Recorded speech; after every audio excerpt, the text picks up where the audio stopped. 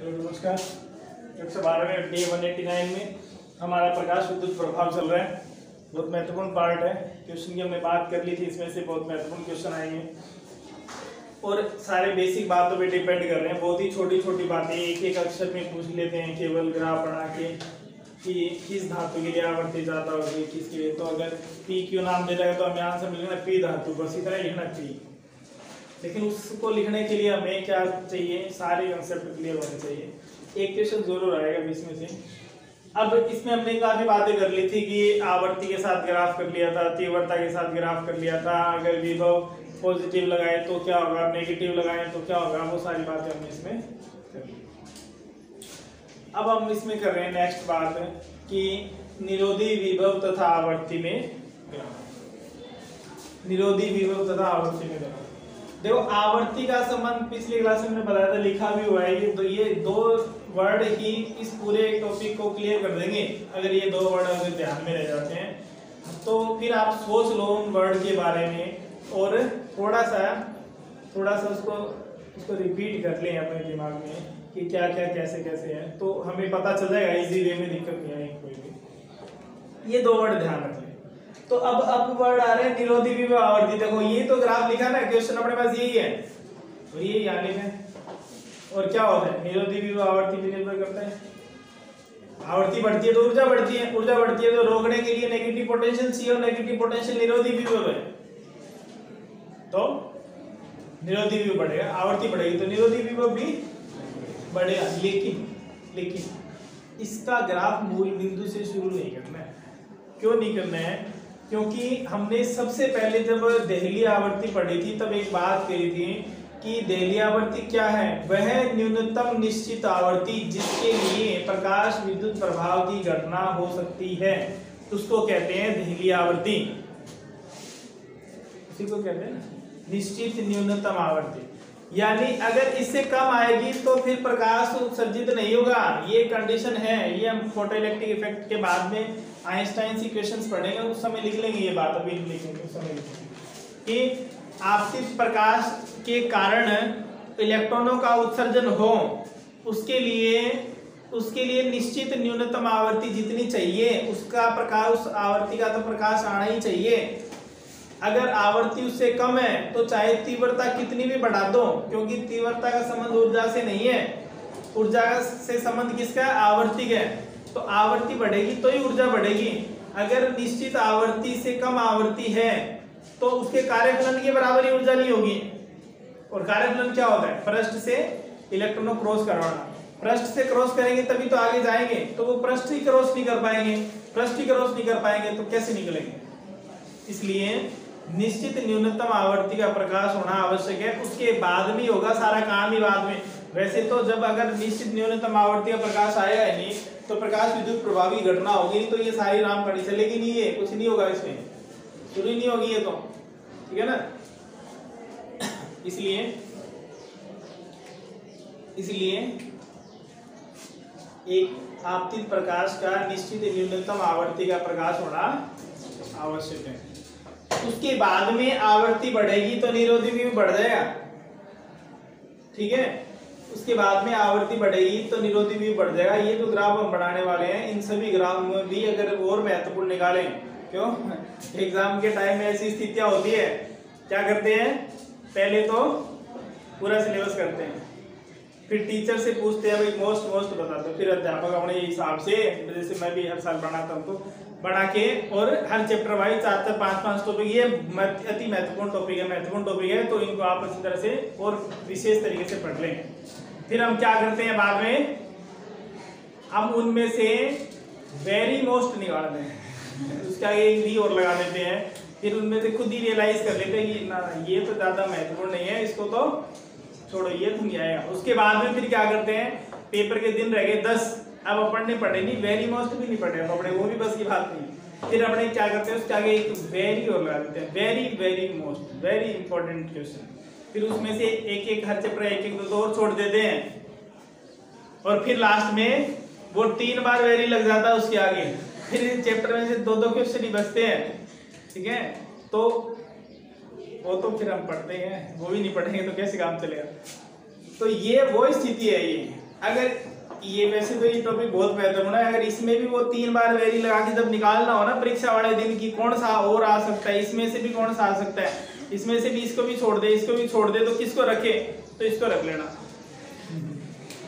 ठीक है? आप जो कर रहे हैं, ऐसी अगर स्थिति किसी के साथ दयनीय स्थिति आ जाए तो इसको ज़रूर रख लेना। इसको मत निकाल लेना आपने खुद के वेरी मोस्ट में से। ठीक है? अब इसमें बात करते हैं अपने बहुत महत्वपूर्ण पार्ट है ये। इसमें से क्वेश्चन लगभग पूछा जाने की संभावना ज़्यादा रहती है, क्योंकि थोड़ी सी कंफ्यूजन जहाँ होती है, वो महत्वपूर्ण होते हैं हमेशा। यहाँ क्या होगा? आवर्ती का संबंध निरोधी विभव से उसके लिए एक बात आपको ध्यान रखनी है, कौन सी?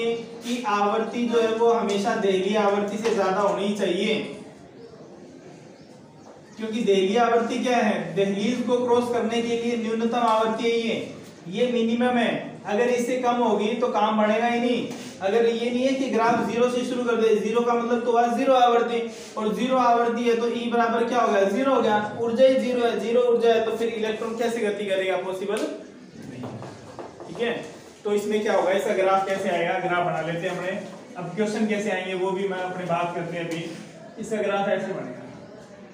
जैसे ये कोई पी धातु है। पी का मतलब कोई भी धातु क्योंकि सभी धातु अलग अलग होता है ना ये। सबसे पहले हमने लिखा था ना, न्यूनतम सीजियम धातु का होता है, अधिकतम प्लेटिनम धातु का होता है। लिखा था ऐसा? तो सभी धातुओं के लिए अलग अलग होता है, कार्यफलन का मान अलग अलग कार्यफलन का मतलब ऊर्जा, और ऊर्जा का मतलब आवर्ती। तो सभी धातुओं के लिए अलग अलग आवर्ती मिनिमम होनी होनी चाहिए। हाँ उससे ज़्यादा कितनी भी हो, चलेगी। वो जो एक्स्ट्रा होगी, वो सारी गतिज ऊर्जा में काम आ जाएगी। लेकिन मिनिमम जितनी चाहिए, उतनी तो होनी चाहिए जैसे इलेक्ट्रॉन अगर यहाँ है यहाँ है इलेक्ट्रॉन तो जितना इसको यहाँ से यहाँ तक के लिए जितनी चाहिए, वो तो पहले चाहिए। अगर वो ही नहीं होगी तो इलेक्ट्रॉन बाहर निकलेगा नहीं, फिर आगे काम तो बाद ही है, बाहर निकलने के बाद में आकर्षण होगा। लेकिन बाहर ही नहीं निकलेगा तो आगे की प्रोसेस नहीं होगी, इसलिए बाहर निकालने के लिए न्यूनतम आवर्ती की ज़रूरत होती है, जिसको क्या कहते हैं? दहली आवृत्ति तो दहली आवर्ती से, या ये तो आवर्ती ज़ीरो है, इधर आवर्ती बढ़ रही है इधर निरोधी विभव बढ़ रहा है, ये निरोधी विभव है। लेकिन निरोधी विभव भी कब समानुपाती है? जब आवर्ती दहली आवर्ती से अधिक हो, ठीक है? तो क्या लिखेंगे हम? निरोधी विभव का मान का मान, आपतित प्रकाश की आवर्ती बढ़ने पर बढ़ता है। परंतु एक बात और इसके अंदर ऐड करनी पड़ेगी कि प्रकाश की आवर्ती प्रकाश की आवर्ती दहली आवर्ती से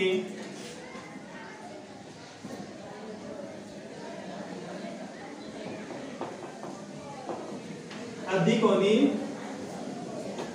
ये बात और ऐड करनी पड़ेगी, क्योंकि यहाँ से यहाँ तक देखें जैसे ये मान लेते हैं कि न्यू वन है ये आवर्ती डेली आवर्ती न्यू नोट से लिखते हैं ना, न्यू नोट वन कर दो इसको इसको न्यू नोट टू कर दो। ये दूसरी धातु के लिए है, ठीक है? ये पहली धातु के लिए है।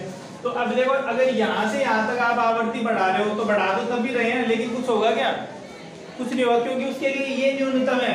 इतनी तो इतनी तो मिनिमम होनी चाहिए। उसके बाद में समानुपाती वाली स्थिति लगेगी, उससे पहले नहीं लगेगी। उससे पहले तो प्रकाश उत्सर्जन की घटना ही नहीं होगी, प्रकाश विद्युत प्रभाव ही नहीं होगा। तो अगर आप ज़ीरो से बढ़ा के आते इसके बीच में वेरिएशन देख रहे हैं तो कुछ नहीं मिलने वाला। कहाँ से मिलेगा? यहाँ से, ये न्यूनतम है। इसके बाद में, इसके बाद में इसका मान बढ़ाने पर बढ़ेगा। अब क्वेश्चन कैसे आता है? दिए गए चित्र में धातु पी और क्यू दर्शाए गए हैं। जिनमें से किस धातु की आवर्ती अधिक है? किस धातु के लिए दहली आवर्ती अधिक है? किस धातु के लिए तरंग धेरे का मान अधिक है? दहली तरंग धेरे का मान अधिक है। आवर्ती तरंग धेरे एक दूसरे के व्युत्क्रमानुपाती होते हैं, जिसकी आवर्ती ज़्यादा, उसकी तरंग धेरे कम होती है। ठीक है? तो वो हमें रिलेट करना है। अब देखो, किसके लिए आप पूछ ले, किसके लिए दहली आवर्ती अधिक है? ये इसकी दहली आवर्ती है, इतनी तो। इसके बाद में समानुपाती लगेगा इतनी तो इसकी दहली आवर्ती है। तो किसके लिए? धातु क्यू के लिए देवी है, अधिक है। किसकी आवर्ती कम है? पी की कम है। कौन से धातु की ऊर्जा अधिक है? ऊर्जा ई बराबर एच न्यू जिसकी आवृत्ति ज़्यादा, उसकी ऊर्जा ज़्यादा। किस धातु का कार्यफलन अधिक है? तो देली आवर्ती के संगत जो ऊर्जा होती है, वही कार्यफलन होता है। कार्यफलन का कोई अलग सूत्र नहीं है। ध्यान रखना भी, कार्यफलन का सूत्र भी वही है। कार्यफलन फाइव बराबर भी एच न्यू होता है, लेकिन इसको न्यू नोड लिख देते हैं। हम आगे बात करेंगे इसकी। H new node. New node क्यों लिख देते हैं? क्योंकि ये न्यूनतम आवर्ती है, इसलिए न्यू नोड लिख देते हैं। तो ये कौन सी आवर्ती है? ये उतनी आवर्ती है जिससे उतनी ऊर्जा बढ़ेगी जो इस सतह को क्रॉस करने में काम आएगी, गतिज ऊर्जा नहीं मिलेगी। तो अगर ये बात करें, किसका कार्यफलन अधिक है?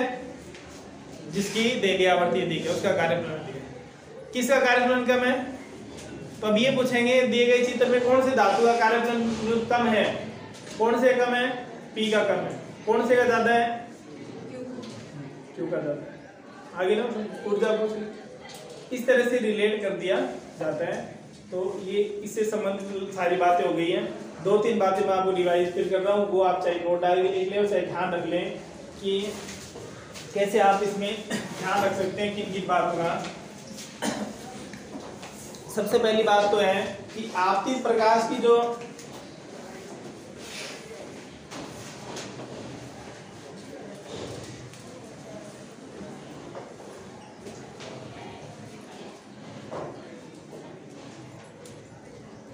आपतित प्रकाश की तीव्रता का। निरोधी विभव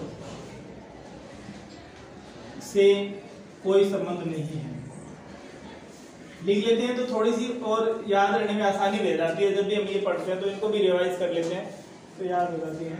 तो तीव्रता का संबंध किससे है? वैसे ऊपर लिखी हुई है ये बात में लिख दी संतरप धारा से। ठीक है? और आवर्ती से किसका संबंध है? आवर्ती से संबंध है निरोधी विभव का। ठीक है? ये दो तीन बातें आप इसके अंदर नोट कर लें।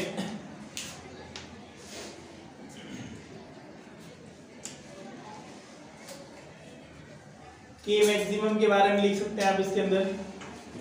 और ये टॉपिक कंप्लीट हो गया। कुछ क्वेश्चन हम इसके करके देखेंगे। के मैक्सिमम के बारे में लिख सकते हैं, जो ई वी नोट के बराबर होता है।